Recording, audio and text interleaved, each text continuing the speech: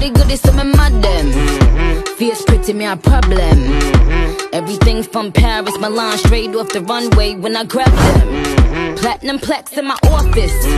Turn that million dollar office. Hey guys, welcome back to my channel. And if you're new, you should definitely subscribe because I'm a whole vibe, okay? Period. So in today's video, I'll be showing you guys how to create your own website on Shopify. Now, currently, my website that I have currently, I paid a graphic designer to do it.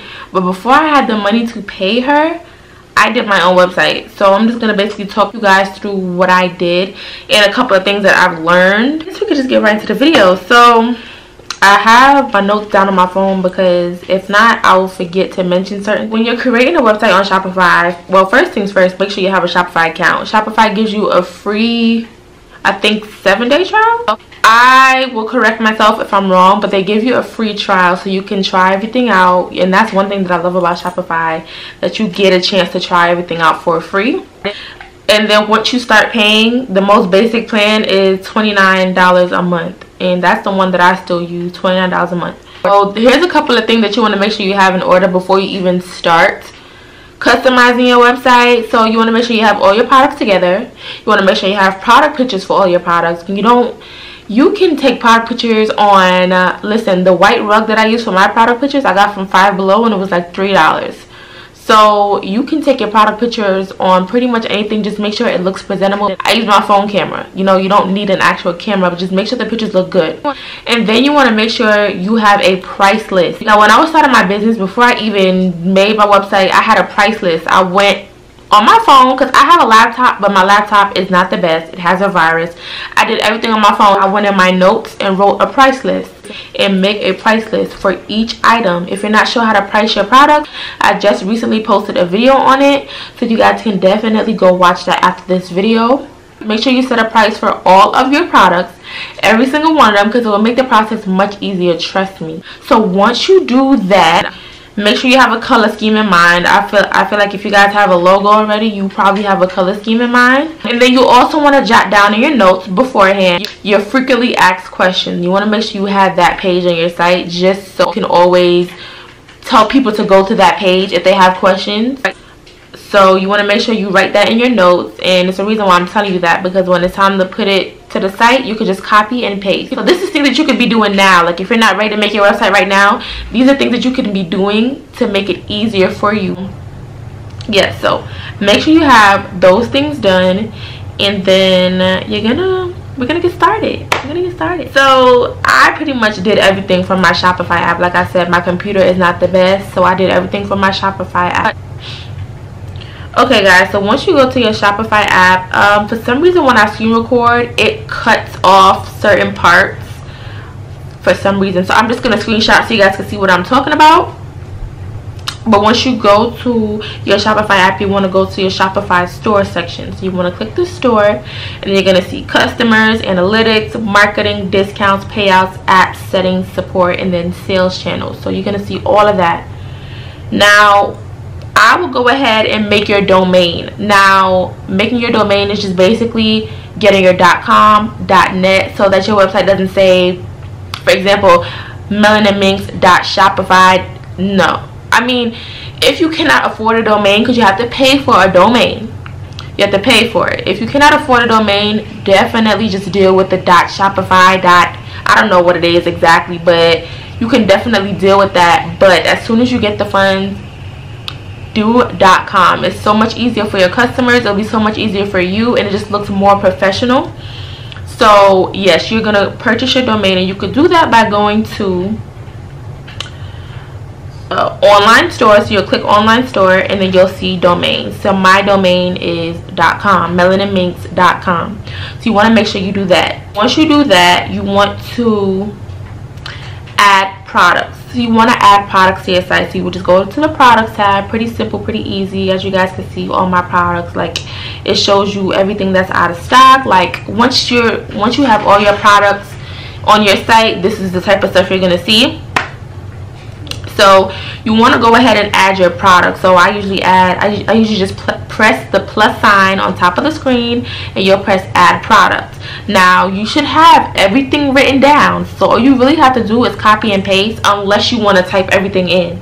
So the title the description in my description I usually explain each product and then I put my shipping times under each under the under every single description for all of my products because I just do that.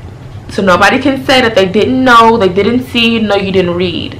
Um, and I'm just being honest because there's a lot of people that would order and they may not read. And of course we've all we've all been there but you're covering your end.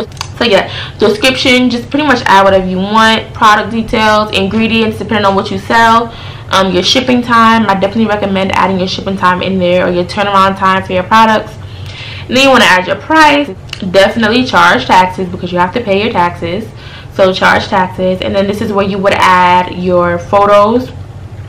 Inventory you you don't have to add inventory but if you have like a certain amount of items make sure you put um, you'll do track quantity and you'll put how much is available so and then you'll put your shipping. So i get my scale from amazon. If you guys haven't seen my scale y'all just insert a picture of my scale because i don't know where it is right now. But um i get my scale from amazon so you can weigh your product how to um, so you'll know how much your item weighs and that will determine what your customer pays for shipping. Now me i don't charge my customers for shipping unless it's a wholesale order but for the most part i don't charge my customers for shipping.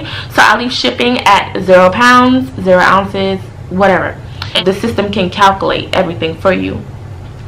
And then um, you would normally do you would normally put your product in a collection but we haven't gotten there yet. So yeah and then your var your variant. So if you have like different styles you'll click style and add the style options. So it's pretty easy y'all. You will click style. So let's say side part if you're uh, ordering a wig.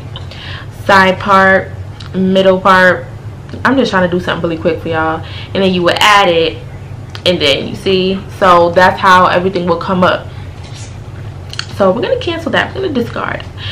So once you add all of your products it may take a while but you have nothing but time. You have to put all your time and your effort into your business if you want it to succeed. So add every single one of your products and then you can start making collections so collections is how everything is sorted on your site pretty much. So i have a whole bunch of collections accessories wigs beauty boxes you know?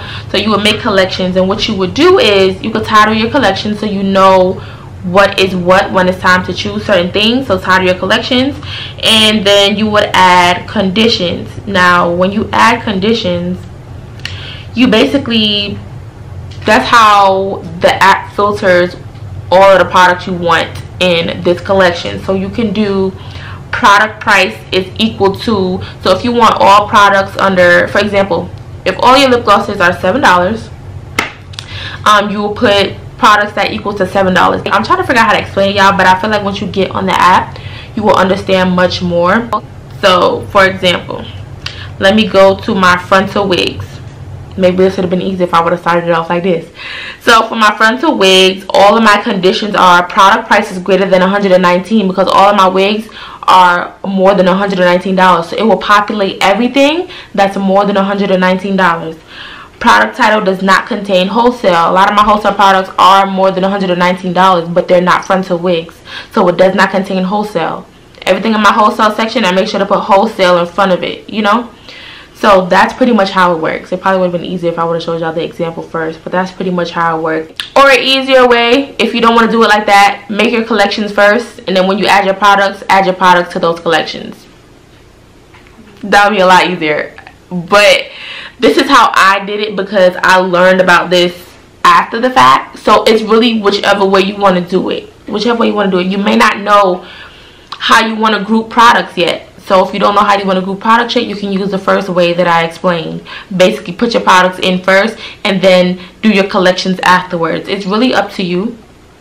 So the next thing I would do is go to pages. So you will go back to um, online store and go to pages. And this is how you make your frequently asked questions. You just press add a page now I didn't know about this until my graphic designer did it for me and I kind of just figured out what she did but yes you will go to add a page. My voice sorry y'all. Go to add a page and then you would just add all of your questions. So you would title the page FAQ or whatever you want to title the page. And like I have when would my when would I receive my unit? When would I receive my order? And I just have all of frequently all of the frequently asked questions here now next you will go back to your online store and you will go to navigation. Now this is how people are going to find things on your site. You're going to go to navigation. Now when you go to navigation um, the footer menu I just have a search bar and I have my frequently asked questions. And you can do the same thing if you want to. That's pretty much where the frequently asked questions really is. So the footer menu which is basically at the end of the site but once you go to main menu this is where you this is where all your collections are going to come in. So think about the tab that you want.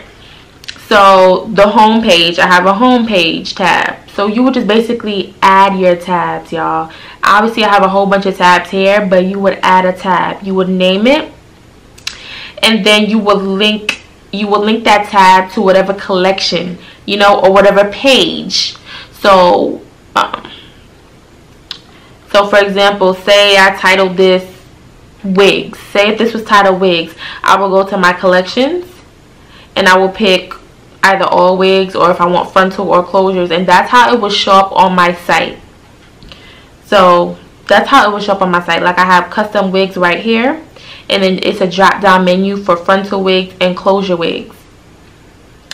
Um, I have my mink lashes and mink lashes I just linked my lash collection to that page. Now when people go on my site and press mink lashes they're gonna see everything in that lash collection.